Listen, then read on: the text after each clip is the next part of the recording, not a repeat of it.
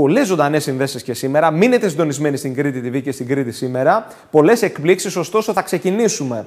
Είπαμε η έναρξη καθόλου τυχαία σήμερα με την εικόνα εκεί από τα σπήλια. Θα ξεκινήσουμε, θα πάμε στα σπήλια, θα πάμε στην Αγία Ειρήνη, τον Ιερό Ναό. Χρόνια πολλά ε, στην Ειρήνη και στον Ειρηναίο γιορτάζουν σήμερα και είναι πάρα πολύ και σε επίπεδο περιφέρειας Κρήτης. Βλέπουμε εικόνα λοιπόν, παρακολουθούμε εικόνα αυτή τη στιγμή από τα σπήλια. Είναι η Εύη Σπανού και δίπλα της ο πατέρας Αθανάσιος, εφημέριος του Ιερού Ναού της Αγίας Ειρήνης στα σπήλια. Να σας καλησπερίσω. Χρόνια πολλά, Χριστός Ανέστη. Καλησπέρα σας από την Αγία Ειρήνη στα σπήλια. Σας καλωσορίζουμε και εμείς από εδώ, από αυτό τον ιερό χώρο που είναι πολύ αγαπητό σε όλο το Ηράκλειο και σας ευχαριστούμε για αυτή την ε, σύνδεση. Πριν περάσουμε στον πατέρα Θανάσιο Εύη, θέλω λίγο να μας μεταφέρεις στο κλίμα. Είναι μια δύσκολη, μια περίεργη συγκυρία, ανήμερα του εορτασμού της Αγίας Ειρήνης, να μας μεταφέρεις λίγο το κλίμα. Χρόνια πολλά Χριστός Ανέστη λοιπόν στους εορτάζοντες και τις εορτάζουσες. Βρισκόμαστε εδώ στην Αγία Ειρήνη στα Σπήλια σε ένα μοναδικό και μαγευτικό τοπίο. Σήμερα είναι η μέρα τους άλλωστε ε, και που αλλού θα μπορούσαμε να πάμε από το, αυτό το μοναδικό εκκλησάκι. Ε, σήμερα λοιπόν βλέπουμε ότι ο κόσμος έχει έρθει ε, για να ανάψει ένα κερί στο ξοκλήσι. Εχθές έγινε και ο Εσπερινός και όπως μας πληροφόρησε ο πατέρας Αθανάσιος ε, υπήρξε κοσμοσυρωή. Ε, είναι διαφορετικό διαφορετικό ο εορτασμός από πέρυσι, καθώς φέτος ε, οι πιστοί χριστιανοί μπορούν να έρθουν στην εκκλησία, ε, να ανάψουν το κερί τους, να ακούσουν ε, την λειτουργία. Και νομίζω ότι και ο πατέρας Αθανέσο θα μας δώσει ακόμα καλύτερα το κλίμα της, που επικρατεί αυτές τις μία-δύο ημέρες, αλλά και τις προηγούμενες, καθώς συνεχίζουμε σε γιορτινούς ρυθμούς μετά το Πάσχα. Και η Αγία Ειρήνη έχει αποτελέσει ένα σημείο αναφοράς για πολλούς ανθρώπους και για ανθρώπους που θέλουν και να κάνουν θρησκευτικό τουρισμό, όπως λέγεται, αλλά και να δουν αυτό το μαγευτικό τοπίο που συναντάει κανείς ερχόμενος εδώ.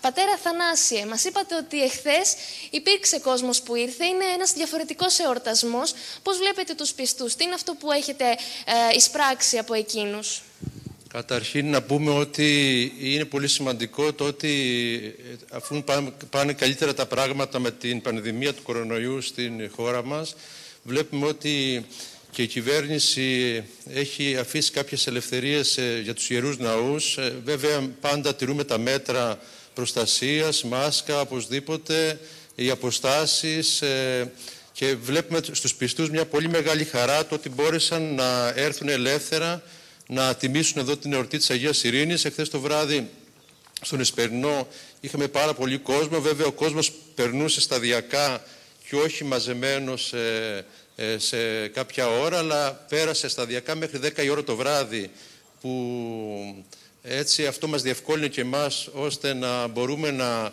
διευθετήσουμε καλύτερα τα πράγματα εδώ. Πατέρα Θανάσιε, η γενικότερη κίνηση και ο αριθμός των ε, πιστών ε, που έχουν έρθει μέχρι και αυτή τη στιγμή στο εκκλησάκι της Αγίας Ειρήνης συγκρίνεται με την περίοδο προ-κορονοϊού, μπορεί να συγκριθεί; Ε, η αλήθεια είναι ότι υπάρχει ε, πριν ε, την, την πανδημία του κορονοϊού εδώ χιλιάδες άνθρωποι ερχόταν. Είναι μειωμένη κίνηση. Σχεδόν το Ηράκλειο, το Ηράκλειο παρέλασε σχεδόν το μισό από εδώ. Αλλά όμως τώρα υπάρχει μια συγκρατημένη, θα λέγαμε, δηλαδή ο κόσμος έρθει με συγκρατημένη αισιοδοξία, προσέχει, είναι λίγο μαζεμένος, αλλά πάλι έρχεται να γιατί αγαπάει αυτόν τον τόπο και αυτό το εκκλησάκι και έρχεται να προσκυνήσει, να τιμήσει την Αγία Ειρήνη. Ε, αρτοκλασίες υπήρξαν; Είχαμε πάρα πολλές αρτοκλασίες ε, χθες ε, το βράδυ στον Εσπερινό.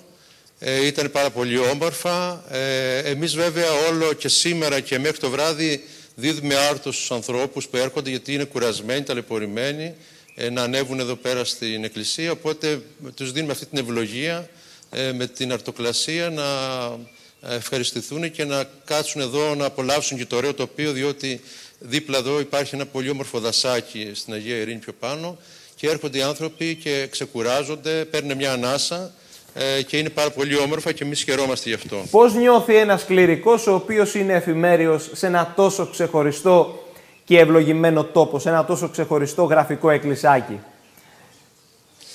Ε, να σας πω, είναι πολύ σημαντικό για μένα που ε, συναναστρέφομαι με τόσους πολλούς ανθρώπους. Ε, καταρχήν έχουμε πάρα πολλά μυστήρια που γίνονται εδώ το καλοκαίρι, Βέβαια. βαπτίσεις και γάμοι.